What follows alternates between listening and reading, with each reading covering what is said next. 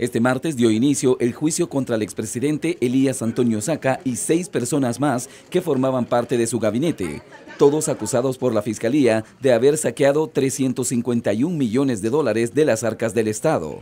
Es el primer expresidente de la República que será condenado a pena de prisión y que estará eh, por un largo tiempo en un centro eh, de cumplimiento de penas. A ningún presidente anteriormente se le había condenado bajo este mecanismo de peculado y lavado, es decir, en conclusión, por actos de corrupción.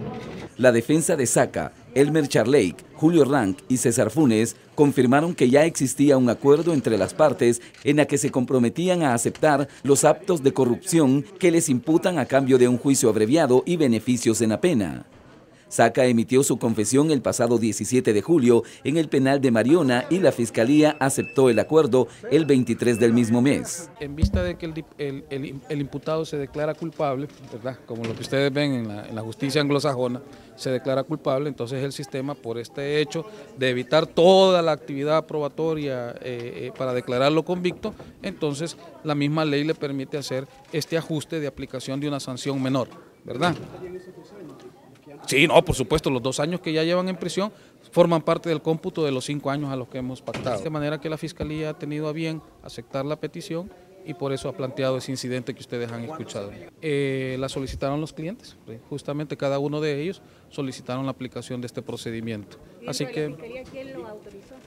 El fiscal general de la República, por supuesto. El abogado de los empleados de Casa Presidencial dijo que no tienen respuesta aún de la petición de beneficios para sus defendidos.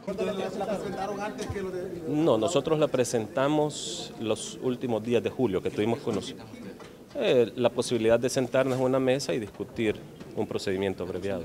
Pues nos, nos compete el derecho de respuesta que esperaríamos. Como les digo, esperaríamos apertura después de, del desarrollo de la audiencia por parte del ente fiscal para ver la posibilidad de, de tener este beneficio. Jorge Cortés, jefe de la Unidad de Investigación Financiera de la Fiscalía, dijo que en la brevedad posible darán a conocer la lista de testaferros del expresidente Saca. Con imágenes y reportes de Samuel Doño, este es un informe de la.